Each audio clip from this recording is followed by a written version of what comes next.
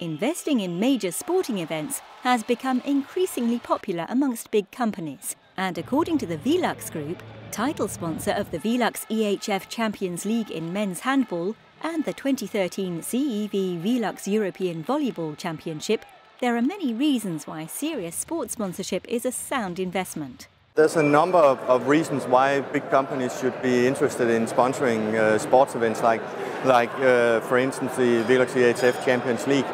Uh, we have uh, more than 300 million viewers and that is of course uh, an important part of brand exposure which we are, is also one of our goals. We also measure how how uh, is the attitude towards uh, the Velux group and, and, and what we are doing. And I think I can safely say we know the average on a European level and I can certainly say when we measure among those who have been here in, in Cologne for the Final Four, we max out the scale uh, in terms of uh, mutual involvement and, and attitudes. According to EHF Marketing, sporting events like the Velux EHF Champions League are growing bigger and bigger each year. The last 10 years, the tournament developed in a very positive way, very, I would say in a very speedy way. 10 years ago, matches on, on floors with different colors, with a number of lines, with a huge number of, of, of messages on floor stickers.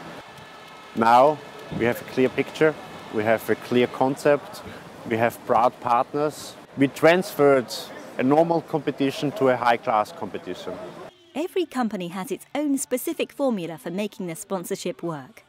For the Velux Group, the three key words are exposure, relations and passion. We uh, get high exposure, we get uh, possibilities for activation, and we build unique uh, relationships with our customers.